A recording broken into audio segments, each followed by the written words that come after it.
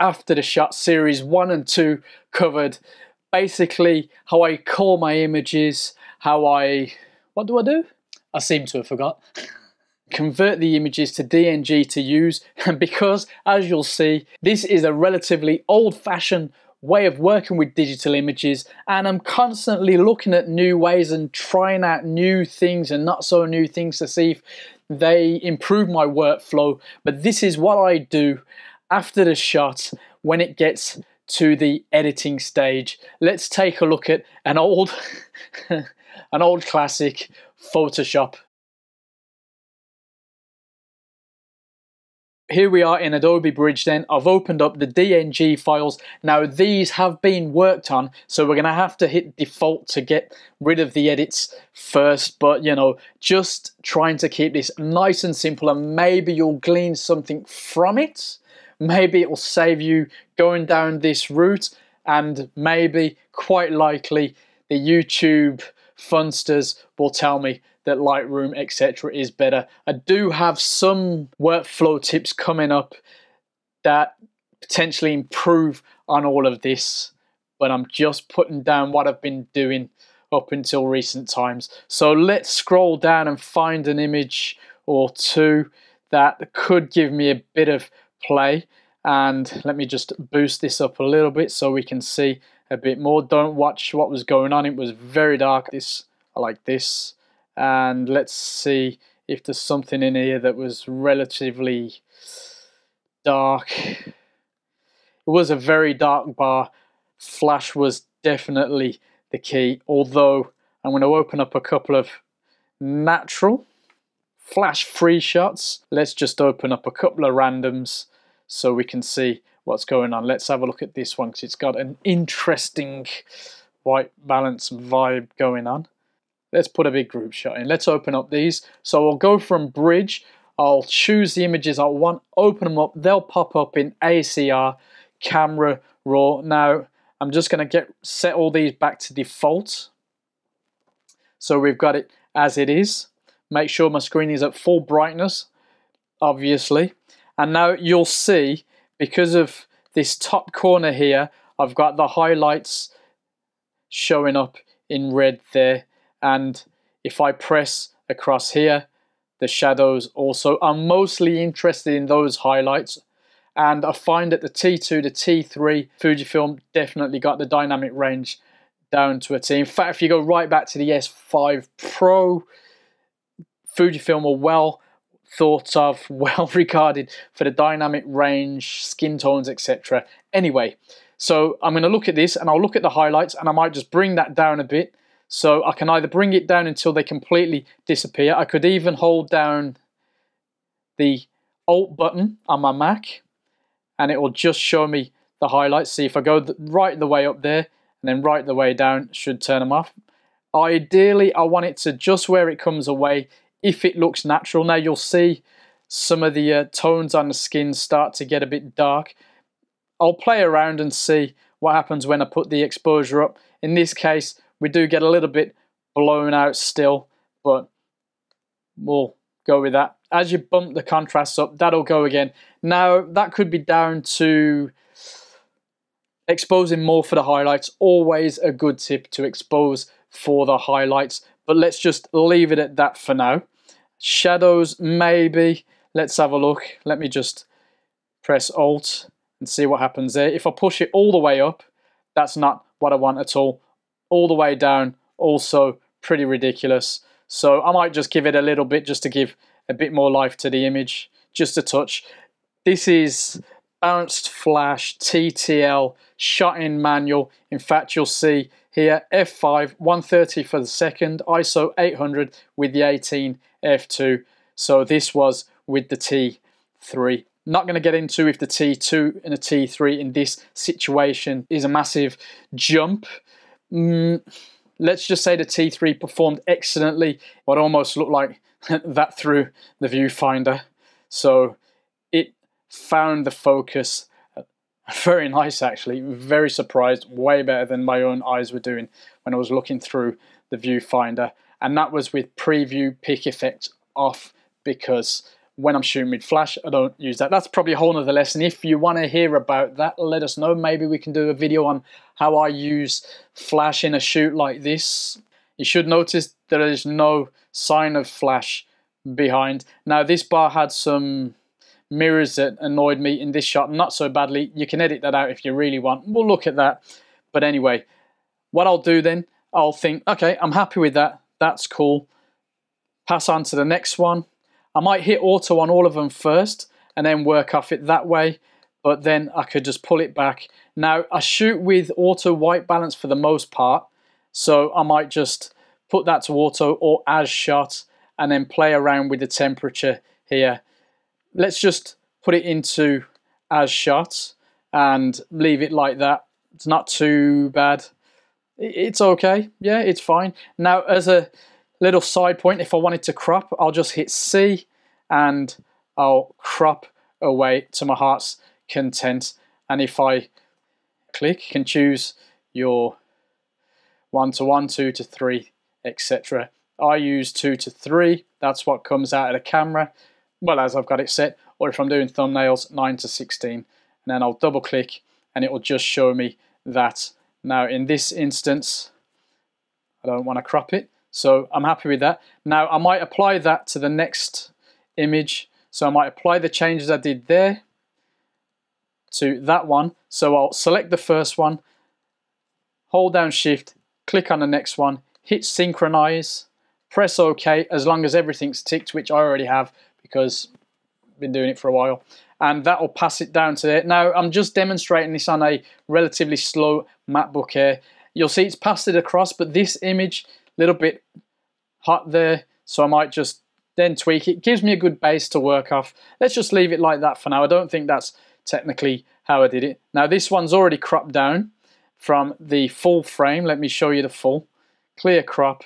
I thought, well, I took it quickly. Wasn't perfect, perfect straight out of the camera, but I knew that I could just crop a little bit. Now, be nice to get him on the thirds, but I'm quite happy with that space there. So we'll do it like that. Real photogenic couple. I've shot them before on another shoot a year before, so they've been together a year now, as they told me. So I'll give it a little bit of contrast boost there. Let's get the highlights and the shadows clipping again. So we can just see a tiny bit in the back there, but you know, I think I'll just rock it till they basically disappear. And, you know, for all intents and purposes, I'm happy with how it looks. Now, this is personal. Editing should be a personal thing, and if you're selling photographs, that's what you're selling as all part of your style, part of your personality with photography. So bear in mind what I'm doing here, you may well do different. We're just sharing techniques, even if they're relatively old techniques. Now, if I had a section of images that were all similar, as you would normally get on a whole shoot, I might just apply all those changes as we showed you before while being on the main image, the image you've just worked on, select the others or go up here, select all, hit synchronize, bam, goes across. As we've just selected images at random, I don't want to do that. Now, let's look at this image now. This was with the 60mm 2 0.4 on a T2, 1 20th of a second. I did quite well to get that. I'm not that amazing once you get past 1 60th, 1 50th. ISO 12, 800, I mean, you know, it looks fine.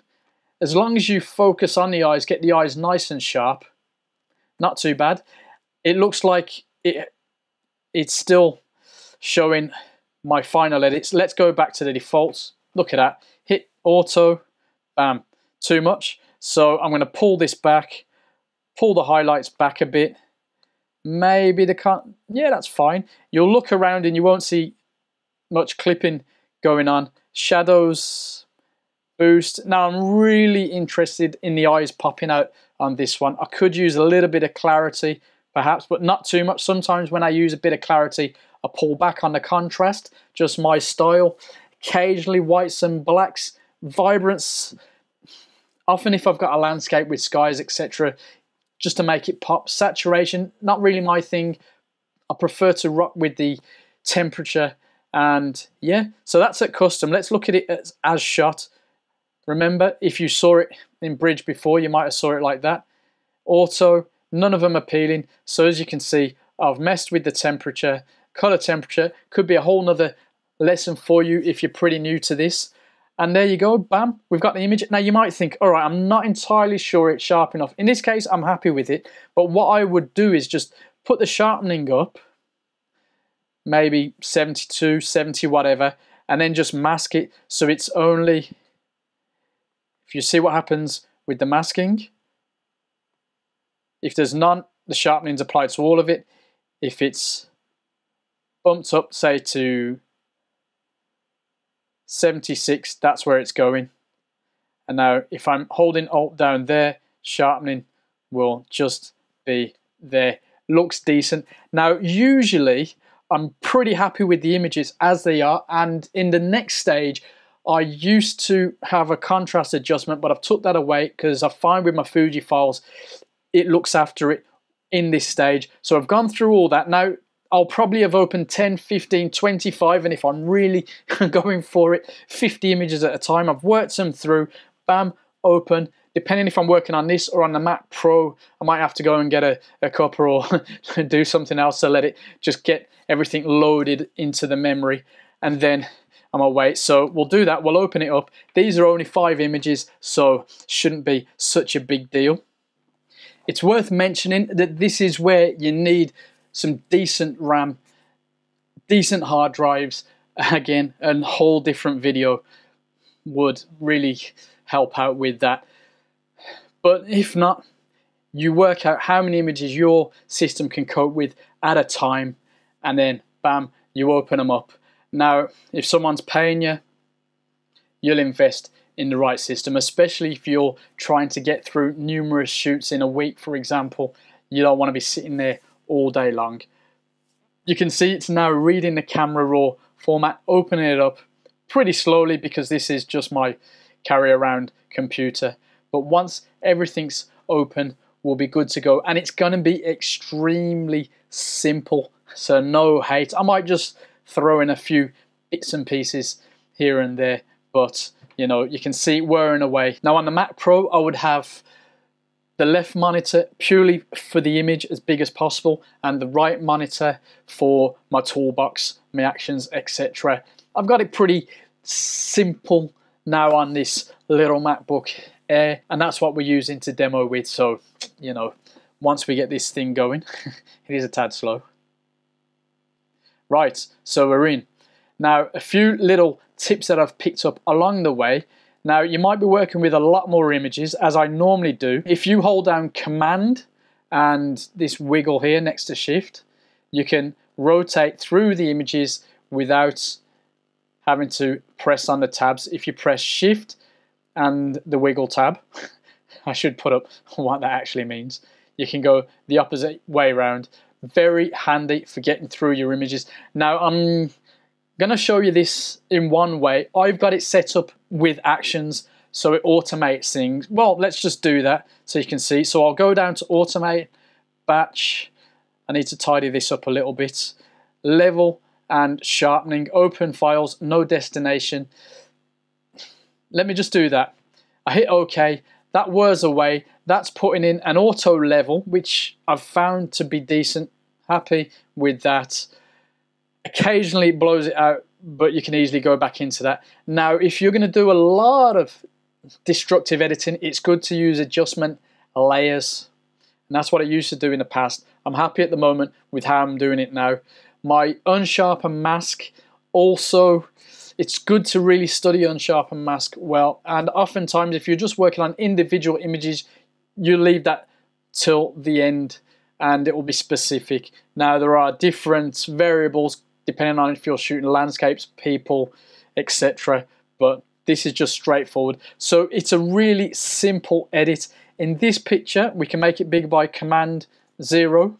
That's how it was before and that's it now. Now you'll see that the auto tone as it's called, which is levels, which is command L, is there, is giving it a nice bit of warmth. It's bringing back some of the vibe that was in the environment. Now you will notice what you'll probably call noise, but Fujifilm are very, very good at making that grain like. Now I'm a big fan of grain.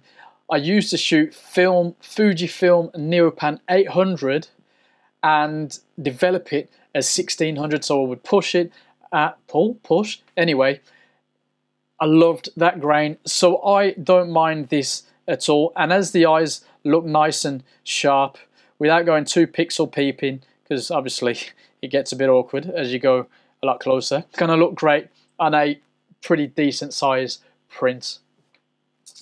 So you can see what auto tone has done and unsharp mask now you could argue that smart sharpen around there is fine or you could just leave the sharpening till after or if you want to go crazy just do that specifically previously. Anyway let's look at another image because it's extremely simple.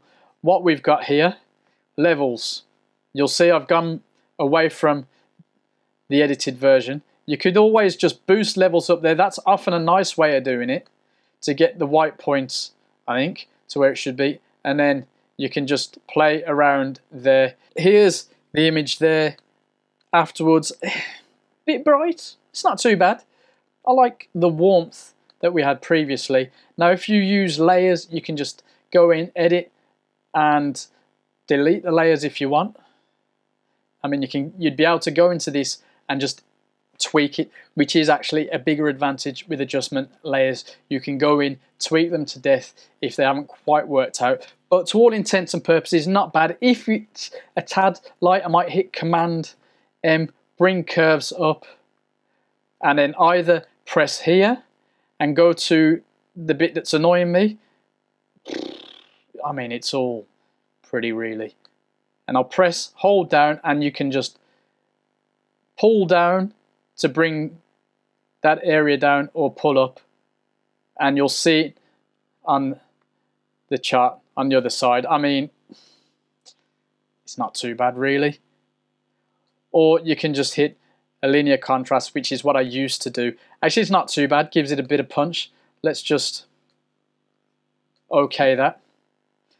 And now you'll see, if you haven't noticed already, I think you would in the history here, that's right there. So we can look at how that curves adjustment, slight, yeah, I'm happy with that. So then that's ready. Let's move on to the next image.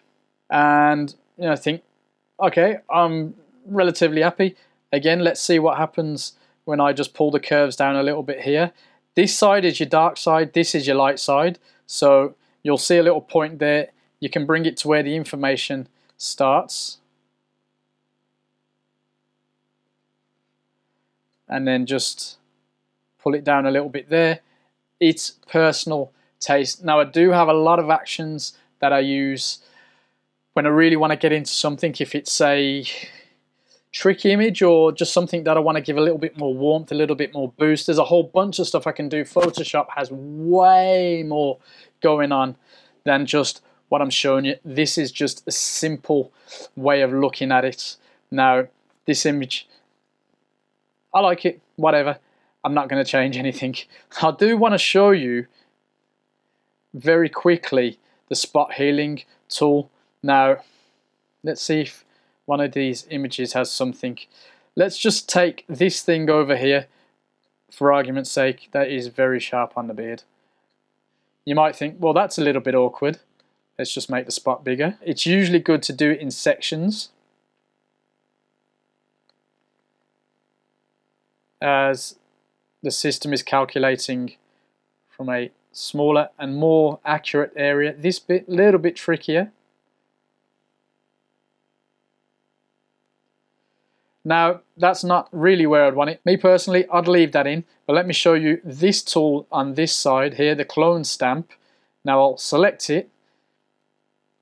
I'll press Alt to choose where I want to clone from. So let's clone from right next to it and then you can see as I move the size point up it's showing me what's going to go there so as I pull down it's literally painting from the side next to it again I'm showing you stuff I wouldn't do normally with the particular image so there we go that gets rid of that a lot nicer. You can alt there, pull down there, but bear in mind if your size point is too big, it will push across, but that's what the preview is for. So you might go alt, spot there, and then you look and you think, okay, the preview's all right. Let's go down there, and you can get rid of that. Now, without going too pixel peeping, that's not too bad. Let's just put it back to where it was. Command zero, and you think, okay, I'm happy with that. For me, it's all about the expression. Get it right as close as you can in the camera first time. You won't have to do so much editing. I personally don't like to use what I believe are faddish filters, styles, etc. because maybe five years down the line you'll look back and go, really, I don't know why I did that. You know, let's just say, and I don't want to offend anyone, but selective colouring, for example. I do remember one wedding I did it on, and sometimes I look and I think, ah, I mean, it was okay at the time. But yeah, I want my images to last and be classic. Now, the editing style might be too simple for some of you. I mean, we've adjusted the white balance, the contrast, the highlights, the brightness. We've give the image some more boost and sharpen. And not particularly with this set, but we'll use the correctors, the clone stamp, spot healing tool, just to get it just where we want. Get rid of any distractions where appropriate. For the most part, I shoot documentary style, so what you see is what you get for the most part, especially with a wedding, a event such as this in a dark bar. It's all about the vibe, what's going on, and something that will last as a record for decades to come. I appreciate that was probably very random. I would urge you to take a look at some other stuff like Capture One. You can get the Express for Fujifilm, or if you use something else like Sony, and you can check it out. I am doing that. I'm thinking about moving over to Capture One, but this just works for me. And the speeds that I can work with, not as I've shown you, but the speeds I can go through everything.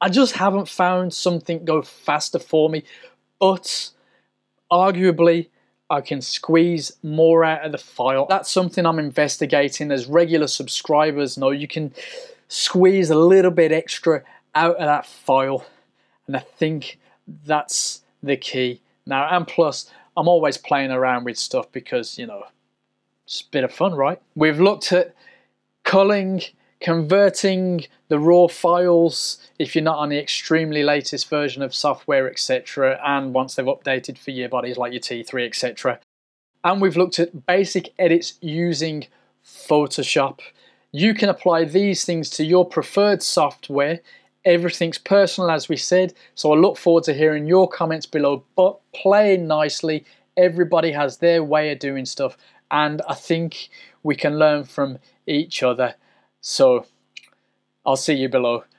Thanks for watching. Subscribe, notification bell, a lot of cool stuff coming soon that potentially will be less random than this.